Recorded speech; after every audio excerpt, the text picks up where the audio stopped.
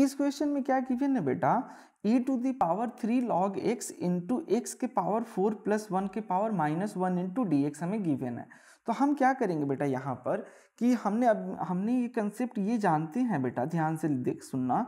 Log ई के power ई x है, ठीक है? ई के पावर क्या है बेटा? ई एक्स है।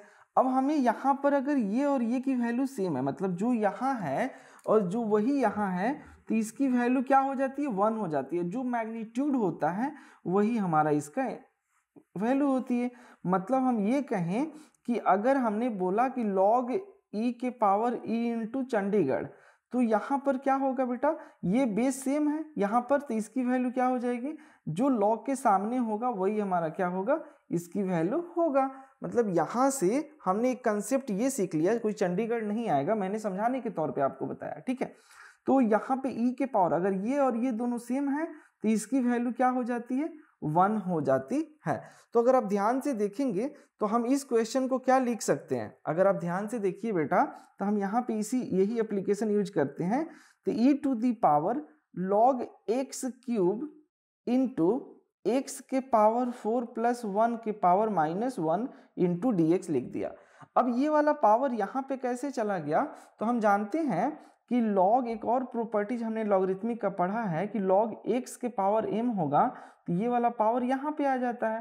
तो एम लॉग एक्स हमारा हो जाता है मतलब जो पावर होता है वो कहाँ आ जाता है बेटा?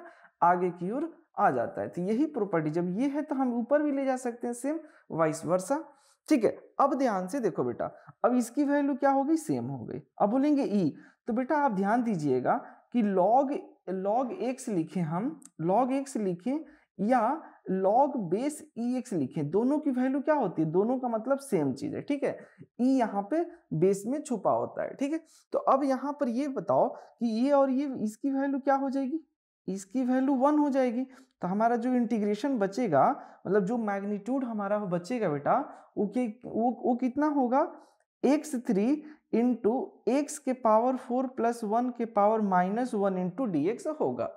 अब हम ये जानते हैं कि अगर किसी भी चीज़ का पावर अगर निगेटिव होगा तो हम इसको क्या लिख सकते हैं बेटा?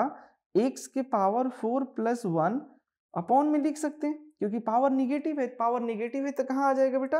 अपॉन में हमारा आ जाएगा। अब इसके बाद हमें इंटीग्रेशन सोल्व करना क्या हो गया हमारे लिए? इजी हो गया।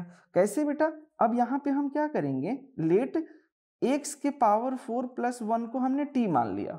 क्या मान लिया? एक्स के पावर फोर प्लस वन को हमने टी मान लिया। तो अब क्या करेंगे? Taking differentiation both side taking differentiation both side दोनों साइड हम डिफरेंशिएशन करेंगे। जब भी हम दोनों साइड डिफरेंशिएशन करेंगे तो पावर को नीचे लेंगे। पावर में से एक हम four x cube into d x one का differentiation zero equal to d t होगा। तो हम यहाँ से ये रिज़ल्ट निकाल लेंगे बेटा। Four x cube d x is equal to d t हो गया। तो हम ये बोलेंगे कि x cube into d x is equal to d t upon four हो गया। तो जहाँ पर बेटा एक्स क्यू डी एक्स होगा, वहाँ पर अब हम क्या पुट करेंगे? डी टी अपॉन फोर तो ये यहाँ जहाँ पे x cube into d x है, इसके जगह पे क्या पुट करेंगे? डी टी अपॉन फोर हम पुट करेंगे। अब ध्यान से देखो बेटा। तो हमने यहाँ पे डी टी पुट कर दिया अपॉन एक्स के पावर फोर प्लस वन है। तो एक्स के पावर फोर प्लस वन को हमने क्या माना है? टी माना है। तो अब हमारा डी टी अपॉन टी हमारा आ गया। अब हम इसको इंटीग्रेट कर देंगे। तो वन अपॉन एक्स का इंटीग्रेशन क्या होता है? लॉग एक्स होता है। तो वन अपॉन टी का इंटीग्रेशन क्या होगा बेटा? लॉग टी होगा प्लस सी अब टी की जो भी वैल्यू हम उसको पुट कर देंगे, वही हमारा आंसर होगा। टी इक्वल टू क्या है बेटा? एक्स के power four plus one plus c और यही हमारा क्या होगा? फाइनल आंसर होगा। यहाँ पे बेटा four one upon four d t upon four यहाँ पे फोर यहाँ पे रह गया था बेटा एक्स क्यू तो डी टी अपॉन फोर होगा। तो यहाँ पर भी रहेगा वन अपॉन फोर और यहाँ पर भी वन अपॉन फोर तो हमारा आंसर होगा one upon four log x के power four plus one plus e ये वन अपॉन फोर कैसे आया बेटा? तो एक्स क्यू डी एक्स की जगह पे d t upon four put करेंगे। तो हमने यहाँ पे जो एक्स क्यू डी एक्स था तो यहाँ पे डी टी अपॉन फोर तो वन अपॉन फोर को हमने साइड में बाहर ले लिया था, ठीक है? ये वाली वैल्यू हमने यहाँ पर पुट कर दिया। तो यही हमारा फाइनल आंसर हो गया। इससे आसान सॉल्यूशन और कहीं नहीं।